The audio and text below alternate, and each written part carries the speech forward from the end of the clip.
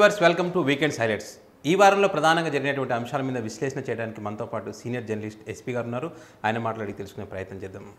Sir నమస్తే అండి. నమస్తే అండి. సార్ ప్రధానంగా ఈసారి చూస్తే తెలంగాణ ప్రాంతంలో ఎన్నడూ లేని విధంగా ఇరవై మంది విద్యార్థులు చనిపోవడానికి కారణమైనటువంటి ఇంటర్ బోర్డు వ్యవహారం గతంలో ఎప్పుడైనా ఇలా జరిగిందా? ఎందుకు ప్రభుత్వాలు ఇట్లా నిర్లక్ష్యంగా వివరిస్తున్నాయి అనుకోవచ్చు మనం? గతంలో అయితే ఎప్పుడు ఇంత దారుణంగా అయితే జరగలేదండి. ఈ మైరా మీడియాలోనే కొన్ని కథనాలు చూసాము. అదేవిధంగా అన్ని న్యూస్ ఛానల్స్లో కూడా కొన్ని కథనాలు చూసాము.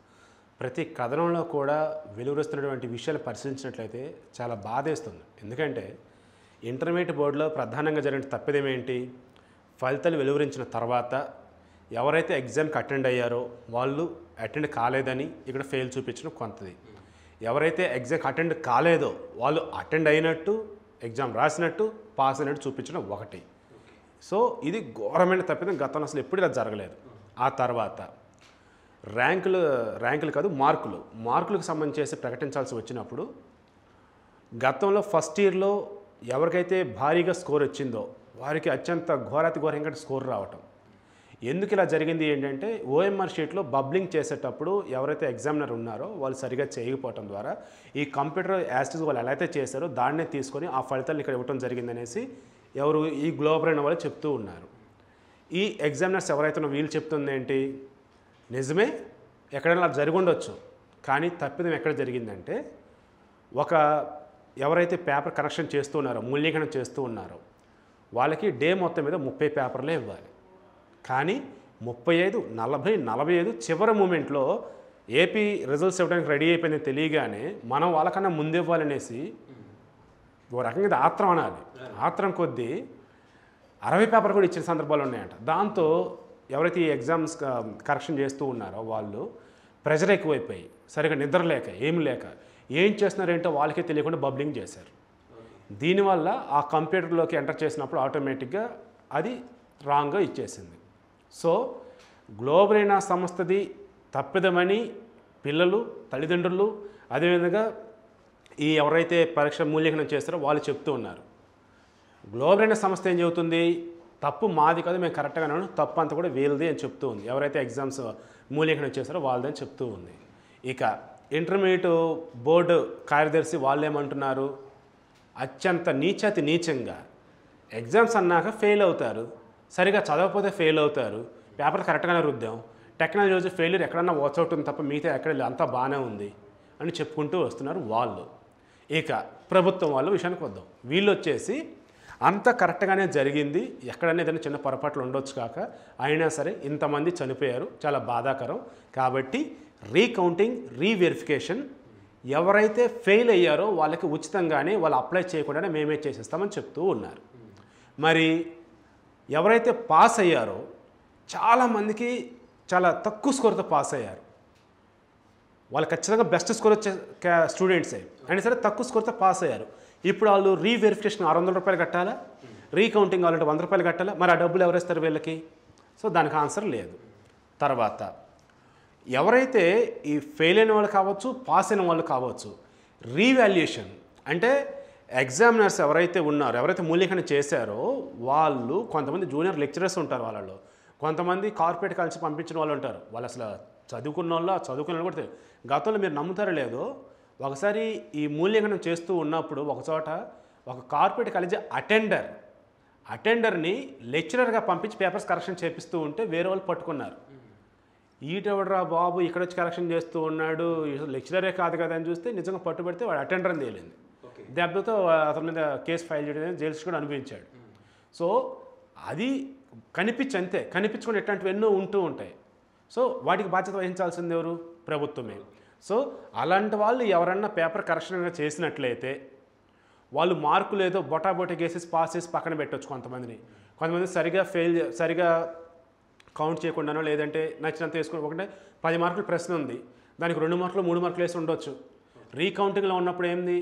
ఎన్ని మార్కులు వచ్చి ఒకసారి కౌంట్ చేస్తారు? ఒకవేళ రాంగ్గా ఉందా? రైట్ రైట్ కౌంటింగ్ ఇది అని వేస్తారు. రీవెరిఫికేషన్. పేపర్ మొత్తం చూస్తూ ఉంటారు. ఎక్కడన్నా ఏదన్నా క్వశ్చన్కి ఆన్సర్ రాసినప్పుడు దానికి మార్కులు వేయలేదా? Okay right. దానికి మార్కులు వేస్తారు. అది రీవెరిఫికేషన్. మరి రీవాల్యుయేషన్ చేస్తేనే కదా ఇప్పుడు న్యాయం జరిగేది? సో రీవాల్యుయేషన్ మాత్రం ఇప్పుడు చేయట్లా. గతంలో రీవాల్యుయేషన్ చేసేవాళ్ళు. అయితే ఎవరికైతే మార్కులు తక్కువ వచ్చినాయో వాళ్ళు రీవాల్యుయేషన్ చెప్పేసేసి ఎక్కువ డబ్బులు అయినా సరే దానికి చెల్లించేసినప్పుడు ఏమైందంటే చాలా చోట్ల బయటపడింది. ఏంటి? ఎవరైతే బడా బడా పారిశ్రామికవేత్తలు కావచ్చు లేదంటే కొంచెం బిగ్ షర్ట్స్ ఉన్నారో వాళ్ళ పిల్లలకి రీవాల్యుయేషన్ ద్వారా ఎక్కువ మార్కులు ఇప్పించుకున్న సందర్భాలు కొన్ని బయటకు వచ్చాయి. దాని ద్వారా ఎందుకు లేనిపోయిన తనలేపని రీవాల్యుయేషన్స్ ఎత్తిపడేశారు అంటే ఈ పేపర్ ఎవరైతే కరెక్షన్ చేస్తున్నారో వాళ్ళు కరెక్ట్గానే చేస్తారు. ఎక్కడైతే ఎటువంటి డౌట్ అయితే లేదు. కాబట్టి రీవాల్యుయేషన్ మరల అవసరం లేదు అని. మనం మీరు గమనించే ఉంటారు. ఈ రీవాల్యుయేషన్ తాలూకు కావచ్చు లేదంటే మేము ఏదైతే ప్రశ్న పత్రాలు ఉన్నాయో మేము రాసిన జవాబు పత్రాలు ఉన్నాయో మాకు జిరాక్స్ ఇవ్వండి అని అడిగినప్పుడు కూడా వాళ్ళు ఇవ్వ ఇస్తాను ఒక్క మాట కూడా అనట్లేదు. ఎందుకంటే అవి అసలు లేవు. ఎక్కడో కూడా వాళ్ళకి తెలియదు వన్స్ కరెక్షన్ అయిపోయింది ఇంకా అవి ఎక్కడ పడేశారు. ఉన్నయ్యా తగలబెట్టారు ఏంటో కూడా తెలియదు. సో ఇంటర్ బోర్డు యొక్క వైఫల్యం క్లియర్గా కనిపిస్తూ ఉంది. ఇంటర్ బోర్డు తప్పిదాలు కనిపిస్తూ ఉన్నాయి. ఇక గ్లోబల్ అయిన సంస్థ గురించి మాట్లాడదాం. వీళ్ళు ఏమంటున్నారు మూల్యాంకనం ఎవరైతే చేస్తారో వాళ్ళది తప్పు. ఓఎంఆర్ వాళ్ళు సరిగా ఎంటర్ చేయలేదు సరిగా బబుల్ చేయలేదు. వాళ్ళు తప్పని అంటూ ఉన్నారు కదా. మరి ఇదే గ్లోబల్ అయిన సంస్థ వాళ్ళు ఇంటర్మీడియట్ సంబంధించి ఎగ్జామ్ ఫీజు కట్టినప్పుడు కొంతమంది కడితే కట్టలేదని. కొంతమంది సబ్జెక్టులు ఒకటైతే ఇంకో సబ్జెక్టులు చూపించి కొంతమంది సెంటర్ ఒక చోట అయితే ఇంకో సెంటర్ చూపించి కొంతమంది హాల్ టికెట్లు వచ్చి కొంతమంది హాల్ టికెట్లు రాక కొంతమంది ఎగ్జామ్ ప్రాక్టికల్ ఎగ్జామ్ అనేది ఒక రోజు అయితే ఇంకో రోజు చూపించి ఇన్ని తప్పులు చేసిందల్లే ఎవరు? ఇదే గ్లోబల్ అయిన సంస్థ వాళ్ళు కదా.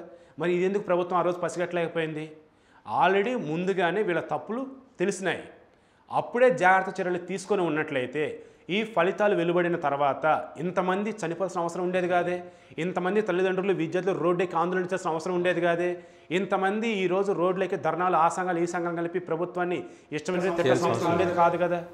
ఇవన్నీ తెలుసుకోకపోవటం ఎవరి వైఫల్యం? ఖచ్చితంగా విద్యాశాఖ వైఫల్యం ఇంటర్ బోర్డు వైఫల్యం. దిద్దుబాటు చర్యలు చేపట్టని చెప్తూ ఉన్నారు. ఇందాకనే అన్నాను. రీకౌంటింగ్ రీవెరిఫికేషన్ మాత్రం వీళ్ళు అలౌ చేశారు. రీవాల్యుయేషన్ ఇక్కడ లేదు. సో ఆటోమేటిక్గా రీవాల్యుయేషన్ కూడా ఇవ్వాలని చాలామంది అడుగుతూ ఉన్నారు. ఇస్తారో లేదో తెలియదు ఒకవేళ రీవాల్యుయేషన్ ఎవరైనా కావాలనుకుంటే ఈ రీకౌంటింగ్ రీవెరిఫికేషన్ అయిన తర్వాత కూడా ఇంకా డౌట్ ఉంటే అప్పుడు వాళ్ళు కోర్టుకి వెళ్ళి పర్మిషన్ తెచ్చుకోవాలి. మాకు రీవాల్యుయేషన్ చేయమని చెప్పండి వాళ్ళని. అంటే విద్యార్థులతో ఓ రకంగా ఆడుకోవటం తప్ప వేరేది కనిపించట్లేదండి. ఇది పోయిన ప్రాణాలను ఎవరు తీసుకొస్తారండి? దిద్దుబాటు చర్యలు అన్నారు. పోయిన ప్రాణాన్ని తీసుకొచ్చి నిలబెడతారా? ఆ దిద్దుబాటు చర్య అవుతుందా? కాదు కదా. పోనీ ఎప్పుడు రియాక్ట్ అయింది గవర్నమెంట్? పక్క రాష్ట్రం ముఖ్యమంత్రి రియాక్ట్ అయిన తర్వాత ఈ రాష్ట్రంలో ఉన్నటువంటి కొంతమంది రియాక్ట్ అయిన తర్వాత చివరికి అప్పుడు వచ్చి రియాక్ట్ అయ్యారు ముఖ్యమంత్రి గారు. అదేమంటే అసలు ఇంటర్మోడ్ బోర్డు సరిగా పనిచేయట్లేదు.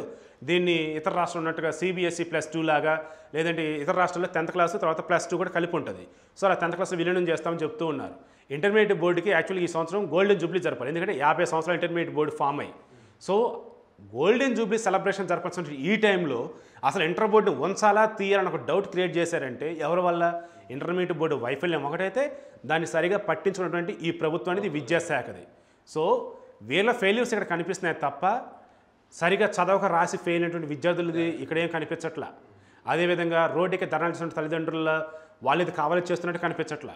ఇప్పటికైనా సరే దిద్దుబాటు చర్యలు అంటే ఏంటంటే మరొకసారి ఇటువంటి తప్పిదం జరగకుండా అది ఇంటర్మీడియట్ కావచ్చు టెన్త్ క్లాస్ కావచ్చు డిగ్రీ కావచ్చు ఇంజనీరింగ్ కావచ్చు ఏదైనా కావచ్చు కాక దేశాన్ని బాగుపరిచినటువంటి ఎవరయ్యా అంటే విద్యార్థులే.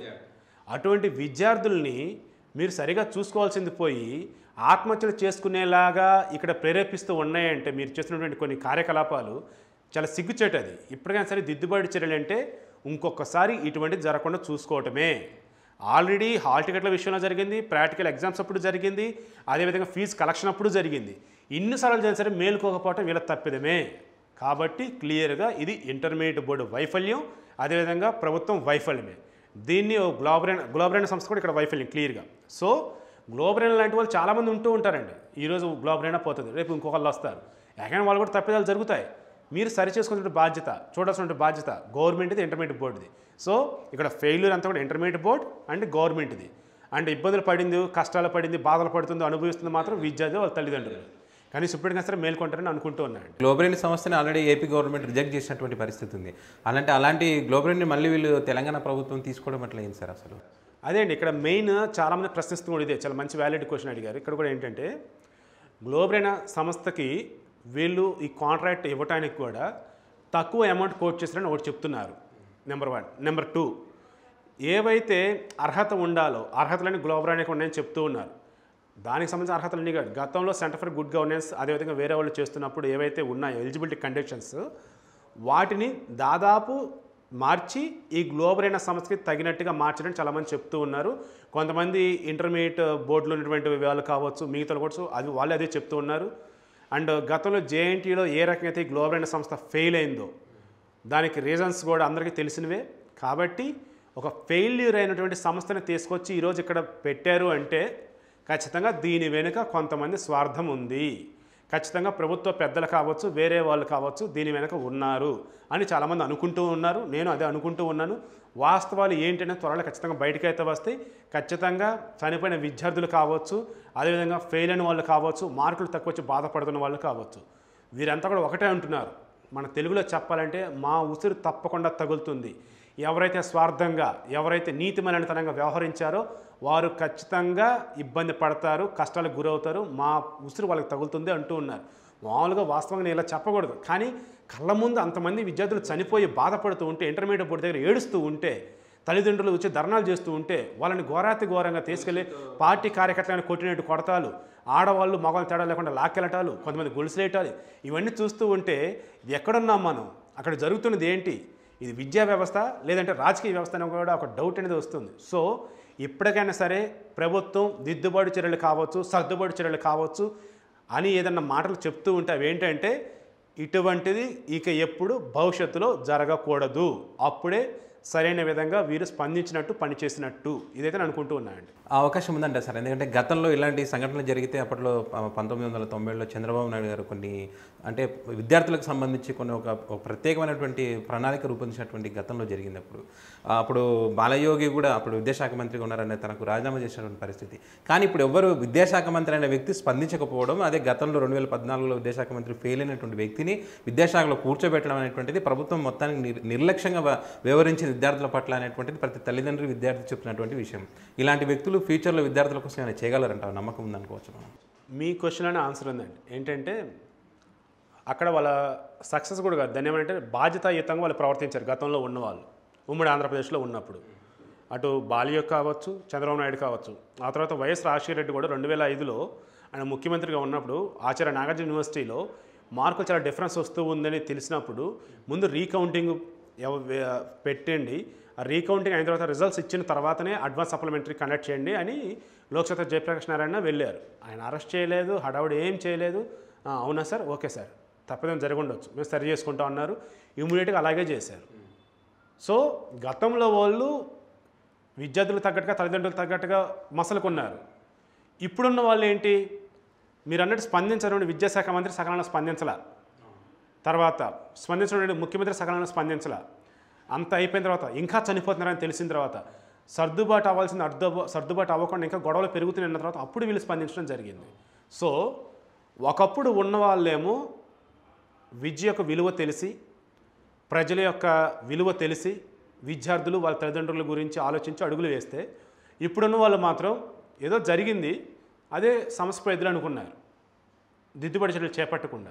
అంటే ఇక్కడ ఏంటి పాలనాపరంగా వైఫల్యం ఒకటైతే ప్రజల పట్ల వీరికి ఉన్నటువంటి కనీస బాధ్యత ఇక్కడ లేదన్నది కనిపిస్తూ ఉంది. సో ఆల్రెడీ ఇందాక మీతో అన్నాను వాళ్ళు దిద్దుబాటు చర్యలు సర్దుబాటు చర్యలు అని చెప్తూ ఉన్నారు కానీ ఆ రకంగా వాళ్ళు చేసింది లేదు ఇప్పటికీ చేయాల్సింది చాలా ఉంది అని. సో క్లియర్గా కనిపిస్తూనే ఉందండి. గతంలో ఉమ్మడి ఆంధ్రప్రదేశ్ ఉన్నప్పుడైనా కావచ్చు లేదంటే ఇతర రాష్ట్రాల్లో కూడా కావచ్చు గతంలో ఉన్న విధంగా ఇప్పుడు టెక్నాలజీ బెస్ట్ వేలో ఉన్నా సరే వీళ్ళు దాన్ని వినియోగించుకొని ముందుకు వెళ్ళలేకపోతున్నారంటే క్లియర్గా వీరి యొక్క వైఫల్యం అనేది కనిపిస్తూనే ఉంది. ఇక మీరు అన్నట్టు ఆల్రెడీ చాలామంది ఇక్కడ తెలంగాణలో ఉన్నటువంటి విద్యార్థి కావచ్చు విద్యార్థి లోకం కావచ్చు ఒకటే అంటూ ఉన్నారు. చంద్రబాబు నాయుడిని ఈరోజు కొనియాడుతూ ఉన్నారు. టెక్నాలజీ స్టార్టింగ్ ఉన్నప్పుడు కూడా అన్ని డిపార్ట్మెంట్స్ టెక్నాలజీని అనుసంధానం చేసి ఎక్కడ ఫెయిల్యూర్ లేకుండా ముందుకు తీసుకున్నటువంటి ఆయన ఎక్కడ ప్రతి దాని విషయంలో కూడా ఆయన వంగ చూపి తిడుతూ ఉండి ఈరోజు మన టెక్నాలజీలో ఫెయిల్ అయినటువంటి వీళ్ళు ఎక్కడ? అని చెప్తున్నారు.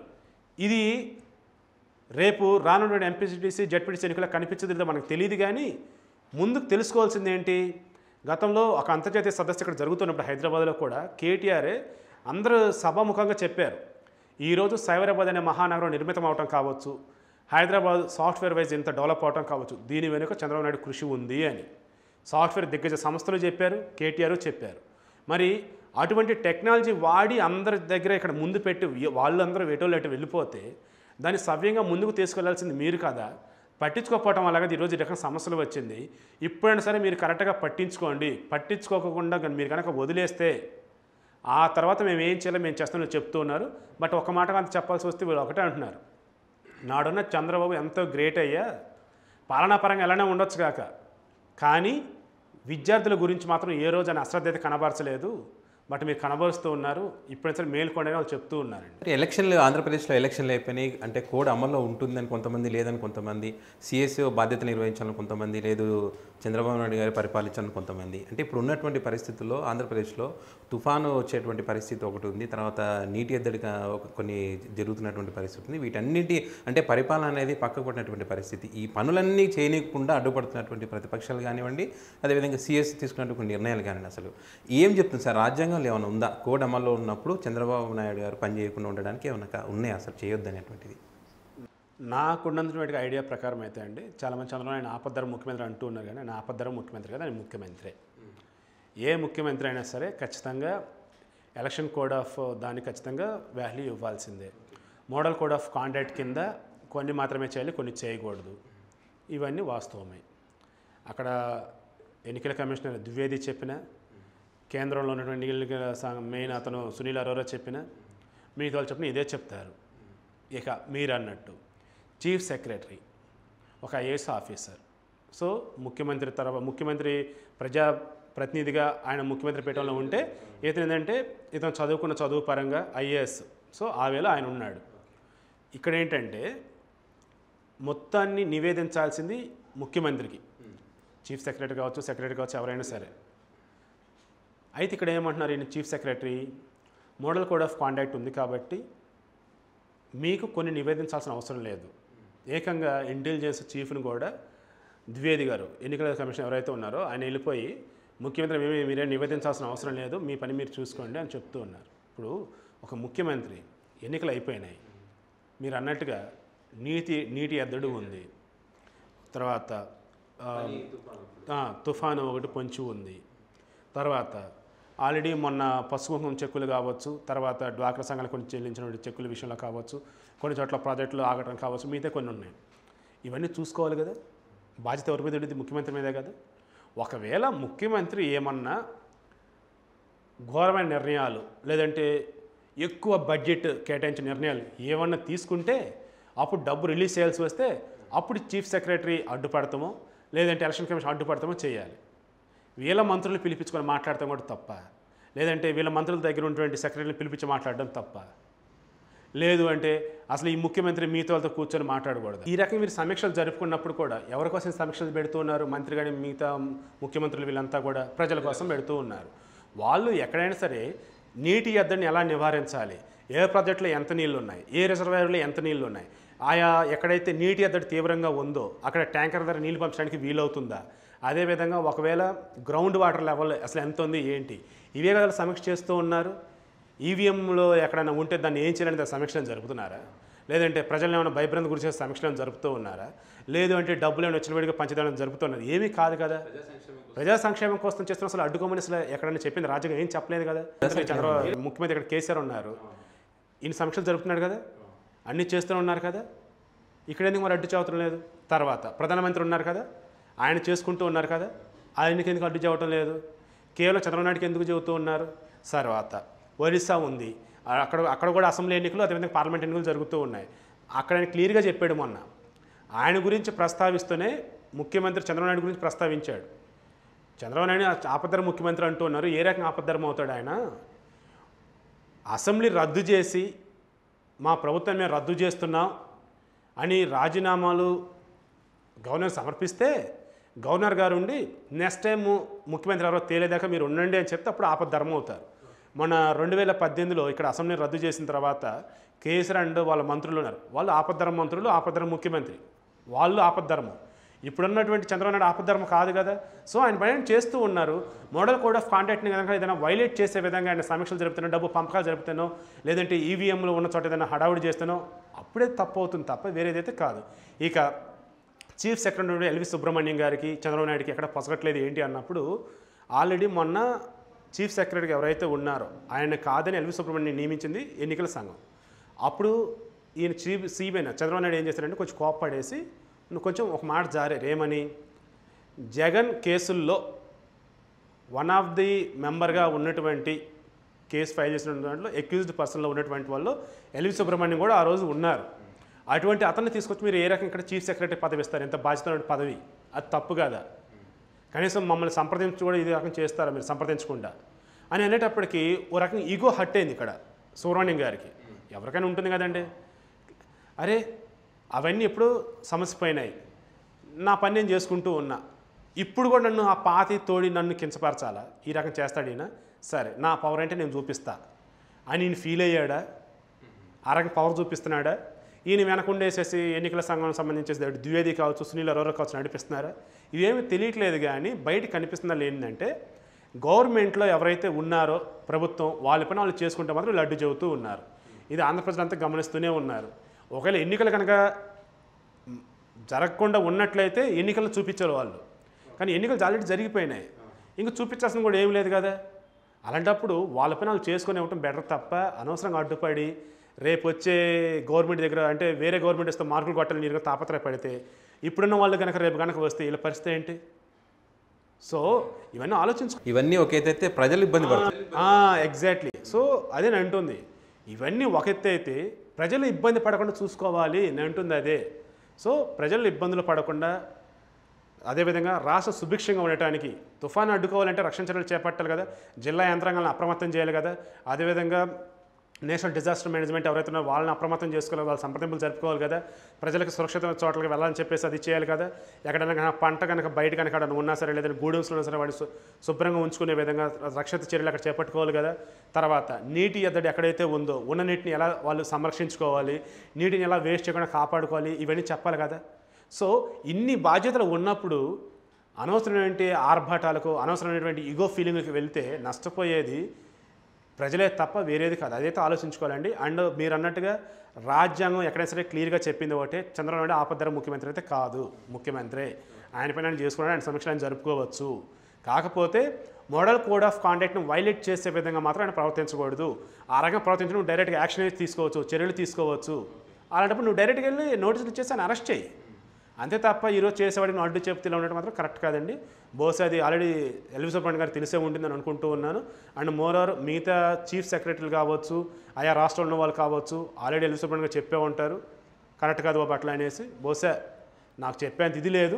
కానీ ప్రజల సంక్షేమం ఆలోచించాల్సి వచ్చినప్పుడు ఖచ్చితంగా ఎవరు ఏ పొజిషన్లో ఉన్నా సరే ఒక స్టెప్ వెనక తగ్గటం మంచిది తప్ప పది మెట్లు పైన ఉంటానంటే మాత్రం కరెక్ట్ కాదండి. పండుగ సందర్భంగా అంటే శ్రీలంకలో దాడులు జరిగినటువంటి పరిస్థితి ఉంది సరే అక్కడ దాడులు జరగడం చాలామంది చనిపోవడం జరిగింది. అయితే మన దేశానికి సంబంధించి అంటే మన రాష్ట్రానికి సంబంధించినటువంటి కేఏ పాల్ అంటే అందరూ అతను ఒక కామెడీ యాంగిల్ని చూసినటువంటి పరిస్థితి. ఇప్పుడు అలాంటి వ్యక్తి శ్రీలంక వెళ్ళి శాంతి చర్- చర్చలు జరపడానికి వెళ్ళినటువంటి పరిస్థితి. దాన్ని ఎట్లా చూస్తారు సార్ మీరు సార్ ముందుగా శ్రీలంకలో అంతమంది ఆత్మాహుతి దాడి జరిపి కొన్ని వందల మంది ప్రాణాలు పడడం కారణమైనటువంటి వాళ్ళు మాత్రం ఖచ్చితంగా వెనుకున్నది మేమే అని చెప్పి ఐఎస్ఐఎస్లు చెప్పడం జరిగింది. ఆల్రెడీ ఐఎస్ఎస్ ఉనికిలో లేకుండా పోతుంది అనుకునే తరుణంలో మేము ఉన్నాము అన్న ఉనికిని చాటుకోవటమే కాకుండా కొన్ని వందల మంది ప్రాణాలను ఇక్కడ బలి తీసుకున్నారు. సో ఇప్పుడైనా సరే ప్రపంచ దేశాలు ఏవైతే ఉన్నాయో వాళ్ళు మేలుకోవాలి. ఏమని? మన దేశానికి ఆపద వచ్చినా మనం స్పందించడం కాదు. ఎక్కడ ఆపద వచ్చినా మనం కనుక స్పందించినట్లయితే ఇక మీదట ఏ దేశంలో కూడా ఉగ్రవాద కార్యకలాపాలు జరగటం కావచ్చు. ఉగ్రవాదులు దాడులు చేయటం కావచ్చు. ఇవి ఏమి కూడా జరగవని తెలుసుకోవాలి. కొంతమంది అంటూ ఉన్నారు శ్రీలంకలో ముఖ్యంగా క్రైస్తవులే టార్గెట్గా ఈరోజు దాడులు జరిగాయి అని. చర్చిలో కావచ్చు బహిరంగ ప్రదేశాల్లో కావచ్చు హోటల్స్లో కావచ్చు. ఈస్టర్ పండుగ రోజు ఆ రోజు ఏంటి? దేవుడి పునరుద్ధానం అనేసి. అంటే చనిపోయినటువంటి క్రీస్తు ఆ రోజు మరల బ్రతికి వచ్చాడు అందరు కనిపించాడు అని. సో దేవుడు ఏ రోజైతే కనిపించాడని పండగ చేసుకుంటూ ఉన్నారో ఆ రోజే ఇంతమందిని చంపేయడం ద్వారా ఏం చెప్పదలుచుకున్నారు? మీ దేవుడు అనేవాడు లేడు. ఉన్నది మా దేవుడే. కాబట్టి మా మతం స్వీకరించండి. లేదా మమ్మల్ని గౌరవించండి. మమ్మల్ని బతకనివ్వండి. న్యూజిలాండ్లో ఏమైంది? ముస్లింలే టార్గెట్గా దాడులు జరిపింది ఒక క్రిస్టియన్. ఆ రోజున ఏం చెప్పాడు? మా దేశాల్లో వాళ్ళు రావటమే కాకుండా వలసలు వచ్చి ఉండటమే కాకుండా మరలా మా మీదే పెత్తనం చలాయిస్తున్నారు. అండ్ ఏదో ఒక విధంగా మరలా దాడులు చేస్తూ ఉన్నారు. ఇటువంటి వాళ్ళు బ్రతకడానికి వీల్లేదు ఇటువంటి వాళ్ళు మా దేశంలో ఉండకూడదు. అని ఎవరికి నచ్చిన రీతిలో వాళ్ళు అనుకుంటూ ఉంటే ఇతను ఏకంగా వచ్చేసి అంతమంది చంపడం జరిగింది.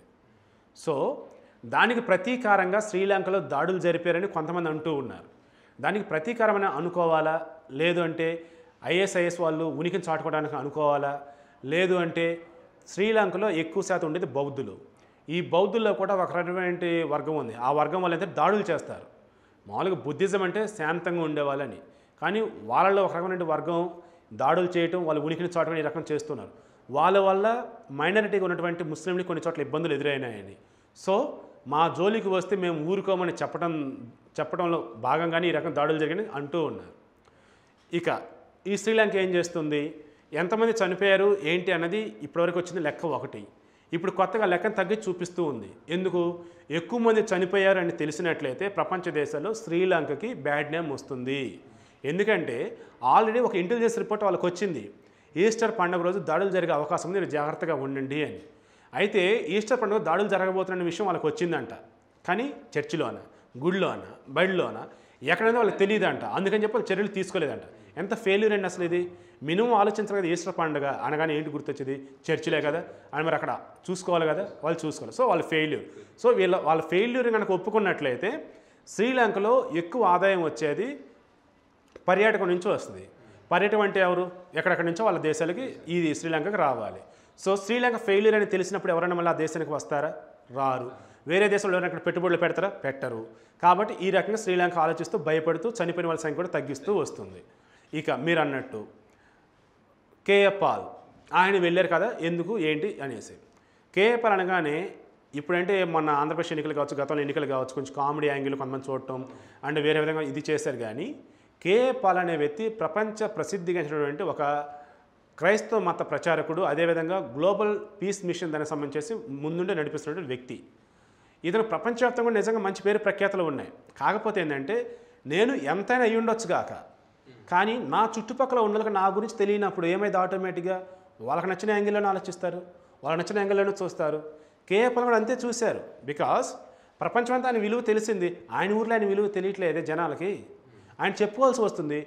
చెప్పుకోవాల్సి వచ్చినప్పుడు ఏంటి? వాళ్ళ చుట్టుపక్కల ఎవరు? ఆ రకంగా మంచి పేరు ప్రఖ్యాతలు ఉన్న వాళ్ళు లేరు. ఆటోమేటిక్గా ఈయన చెప్తుంది ఏంటి? బడాయి కబుర్లు. నేను కావాలని గొప్పలు చెబుతున్నాడరా అని అనుకుంటారు.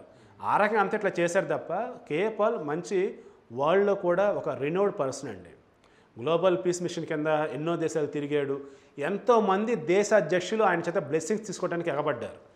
అంతెందుకండి ఇండియాలో కూడా ఎన్నోసార్లు ఆయన సభలు పెట్టినప్పుడు ముఖ్యమంత్రి ప్రజెంట్ ఆంధ్రప్రదేశ్ ముఖ్యమంత్రి చంద్రబాబు నాయుడు చనిపోయినటువంటి మాజీ ముఖ్యమంత్రి వైఎస్ రాజశేఖర రెడ్డి అప్పుడు ఉన్నటువంటి గవర్నర్ వీళ్ళంతా ఒకే వేదిక మీద ఉండి కేఎఫ్ఎల్ బ్లెస్సింగ్స్ తీసుకున్నటువంటి దృశ్యాలు కూడా ఈ మధ్య మొత్తం కూడా సర్క్యులేట్ అవుతూ ఉన్నాయి. సో అవి చాలు. అదేవిధంగా యూపీఏ ఎవరైతే ఉన్నారో మెయిన్ సోనియా గాంధీ కావచ్చు గతంలో అటల్ బిహారీ వాజ్పేయి బీజేపీ తరఫున ఆయన కావచ్చు అద్వానీ కావచ్చు వీళ్ళంతా కూడా ఆయన బ్లెస్సింగ్స్ తీసుకున్న వాళ్ళే. అంత చరిష్మ ఉన్నటువంటి వ్యక్తి ఈరోజు శ్రీలంకకి ఎందుకు వెళ్ళారంటే అసలు దాడుల నేపథ్యం ఏంటి ఏం జరిగింది ఏంటని తెలుసుకొని ముందు వాళ్ళకి మోరల్ సపోర్ట్ ఇవ్వటానికి.